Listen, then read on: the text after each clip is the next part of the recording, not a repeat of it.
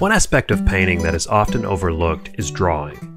Part of us always wants to skip to the fun part of laying down paint, but learning the fundamentals of drawing teaches you to see like an artist and to truly understand your subject. Spending the time to learn to draw makes you a better painter.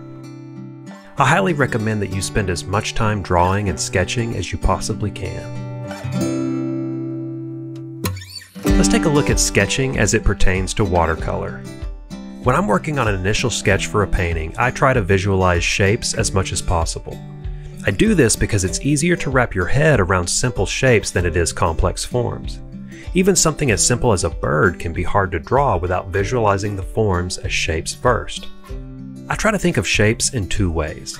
The first is basic shape structure, or breaking a subject down into the most simple shapes as possible as you begin to draw. Let's take a look at this reference photo of a chickadee and see if we can find some basic shapes. When it comes to birds, I like to use mostly circles. So I'll create a circle for the head and a larger one for the body. I'll add one more here where the tail and wing come together.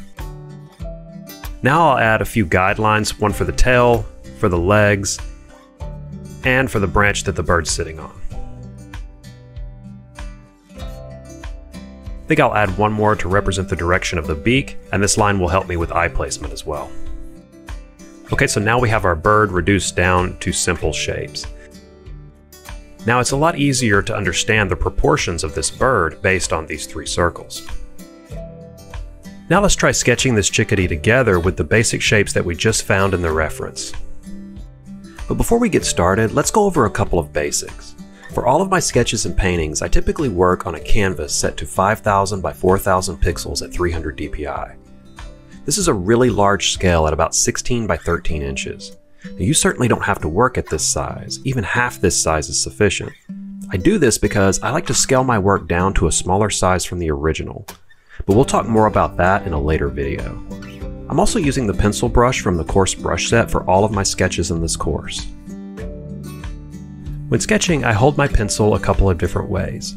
You may or may not want to do this, but I find that it helps me in making different types of lines, which adds some variety to my sketches. For initial shapes, I hold my pencil with this type of grip because I'm mostly drawing broad strokes with my arm at the beginning of a sketch. For smaller shapes, I tend to hold the pencil from the end because I find that it helps me to be more loose. Then finally for details, I hold the pencil closer to the tip. This type of grip helps me to be more accurate with my lines. Alright, let's get started. Same as before, I'm going to draw a series of circles starting with the head. Okay, then I'm going to add that larger circle for the body. And then I'll add that smaller shape for the wing and tail coming together. And I'll put a guideline in for the tail. Okay, now I'll build the shape of the bird by adding some lines in using the circles as a guide. I'm not going to change the grip on my pencil yet because I still want to stay loose at this stage. I'm going to go ahead and put in a line here for the beak and eye placement. Okay, now I'm going to switch up my grip because I want to start to zero in a little bit on these lines. Basically, I'm making more finalized decisions about my line placement. As I'm putting lines down, I'm always using my previous marks as a guide so it makes each successive step easier. Alright, so now I'm going to go ahead and add some detail for the beak, and I'm glancing at the reference to help me with the correct size and proportion to the head. I tend to use straight lines even around curves. Now this is just a style choice. It's an aesthetic that I like in my sketches. For me it just tends to make curves a little more interesting. So let's put in a shape for the tail, but I'm going to go ahead and scale my sketch down a bit. I think I'm drawing a little bit too large for the canvas size. So now that I've got more room for the tail, I'm looking at the reference to get the length of it in relation to the body. I kind of want the body to come to more of a point here just because I feel like the shape needs it.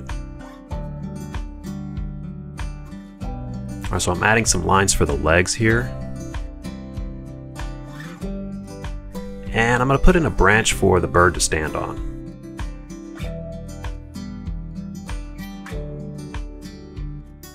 I think I'm just going to add some marks to represent the feet wrapping around the branch. To wrap it up, I'll drop in a little circle here for the eye too.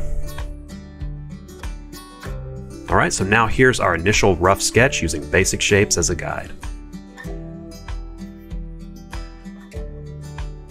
The second way that I visualize shapes is through shape design, building out the details of the subject using as interesting shapes as possible. This can apply to light and shadows and even fur and hair. This time we're looking for shapes in the bird's feather groups and wing. I'm tracing the shapes that I see so that you can get an idea of what we're looking for. Our goal is to recognize these shapes and maybe add some interest to them by exaggerating the design of the curves and angles. Now let's finish out our sketch using the shape design that we just found in the reference. I'm going to be working on a separate layer above our rough sketch.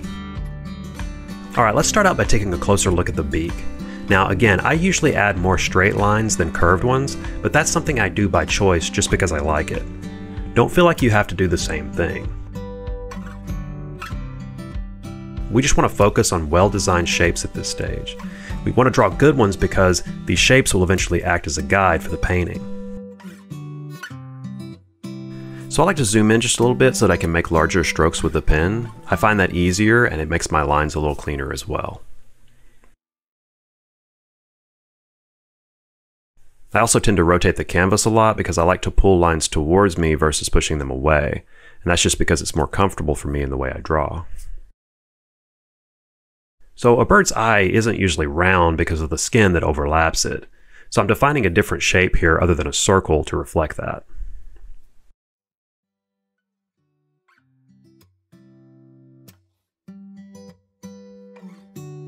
Uh, I think I'm going to remove some of these lines and redraw them so that they meet up a little better.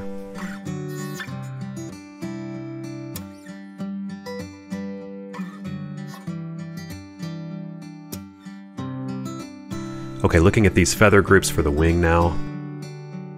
Looks like there's a smaller grouping right here. So the wing turns up and wraps over the body in this spot.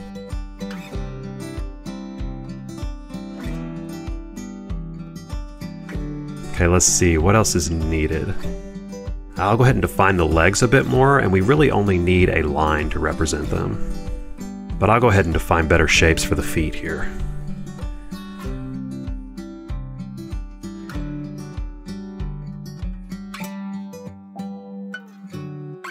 I also need a little bit more definition for the branch, so let's go ahead and do that too.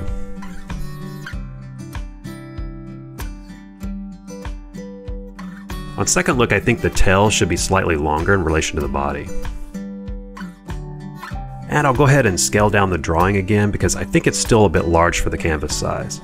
Oh, let's go ahead and turn off the rough sketch layer. Now we can scale it down. And it looks like I missed a couple of lines here around the beak now that we turned that layer off.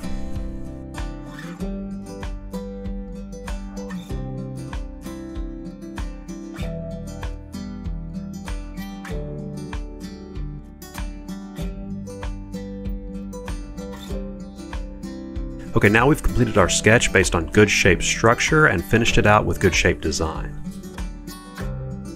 Now let's take a look at what a completed painting might look like based on a sketch like this. Even though some of the shapes have soft edges in the painting, you can still see that the shape design from the sketch is still present and comes through in the final piece.